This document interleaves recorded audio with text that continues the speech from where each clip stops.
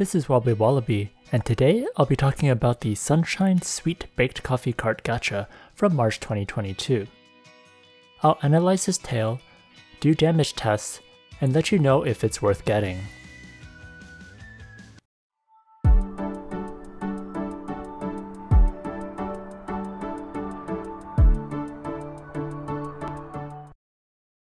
First, I'll analyze this tail. This month's gacha is quite interesting due to its conditional effects. His name is also super long, so I'll just call it Coffee Cart. Coffee Cart provides plus 2 to all attributes, physical damage plus 5%, and when refined to 6, it ignores the weapon size penalties.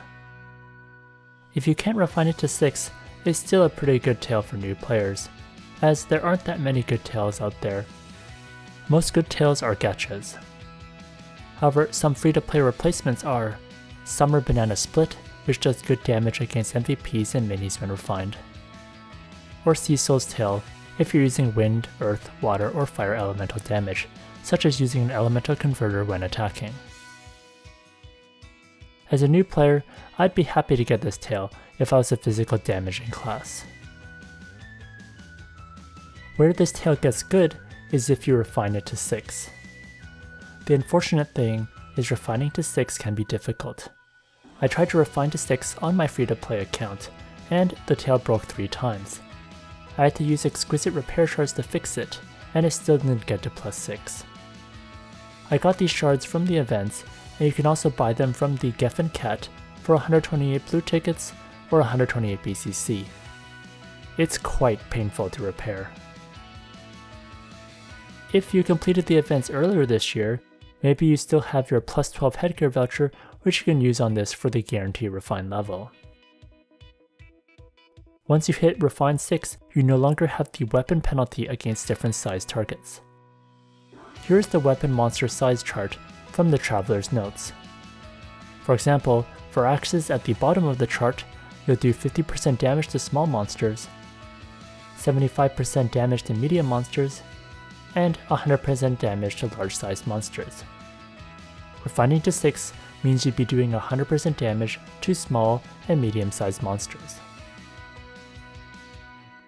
You can see some weapons have 100% damage against all sizes, such as wands, books, the wind shuriken, pistols, and rifles.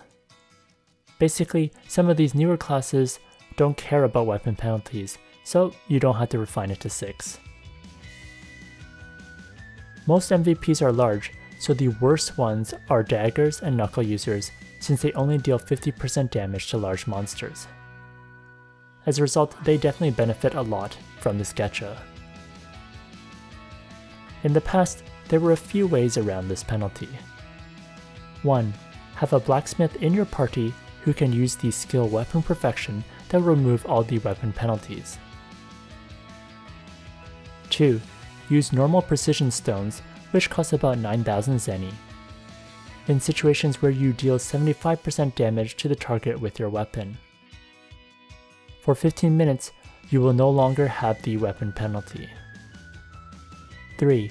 Use expert precision stones, which cost about 28,000 zeni, in situations where you deal 50% damage to the target with your weapon. For 15 minutes, you will no longer have the weapon penalty. Both descriptions on these stones are confusing, but that's what each of these stones are used for. 4. Get the Drake Star card.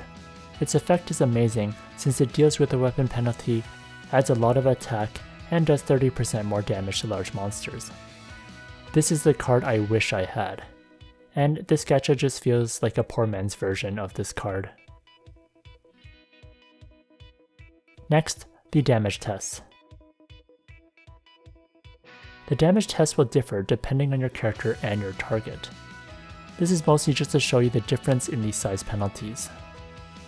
For these experiments, I'll be swapping in my Flying Quarterback and the Sunshine Sweet Baked Coffee Cart. Flying Quarterback is the best tail I have for my Novice Guardian. Let's start with a large size dummy.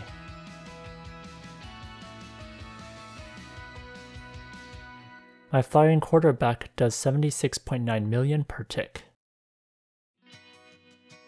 Next, I switch to Coffee Cart from my item bar.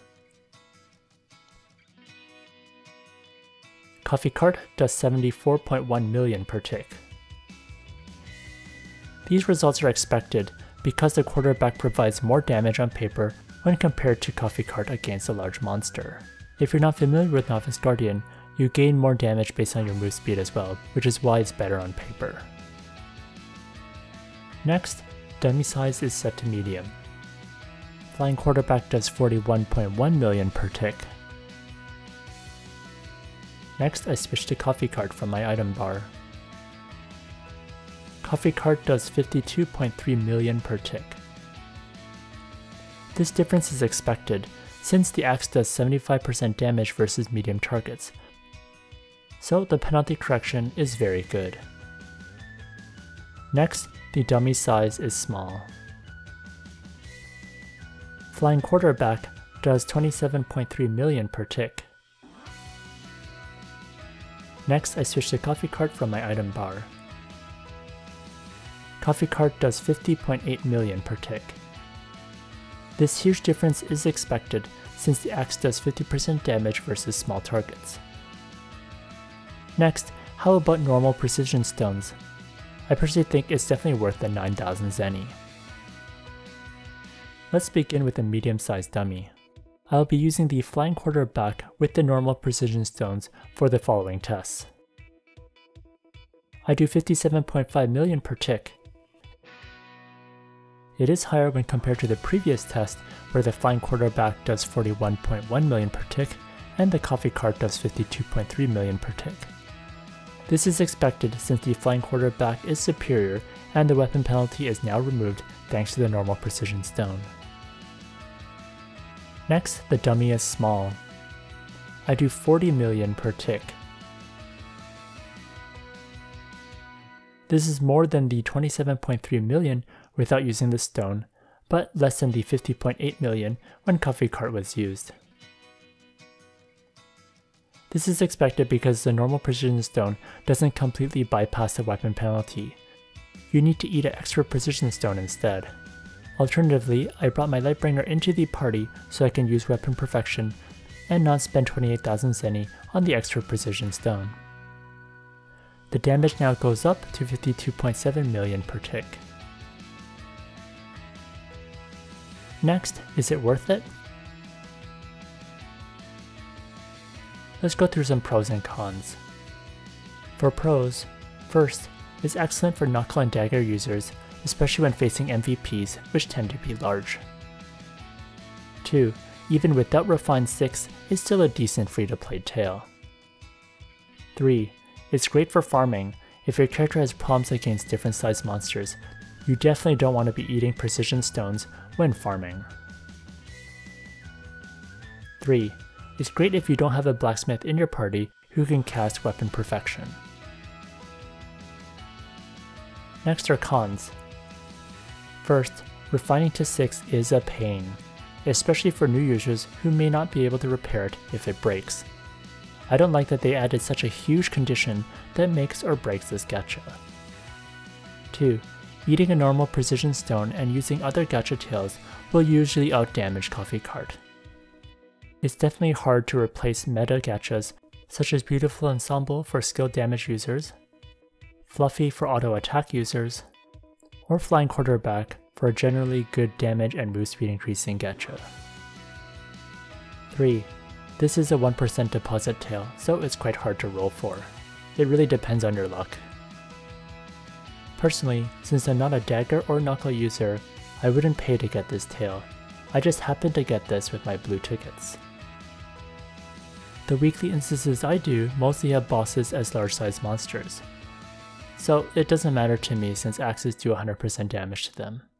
But if I happen to be facing medium or small monsters, such as ones that show up in Echo Corridor or Oracle Nightmare, then I don't mind switching to this tail temporarily if I'm feeling cheap. For example, here I am attacking Flute Player, and I switch the coffee cart in my item bar if I want to do more damage without consuming anything. What did you think about this Sunshine Sweet Baked Coffee Cart? Did you end up rolling for it? Let me know in the comments. If you enjoyed this video, please like, comment, and subscribe.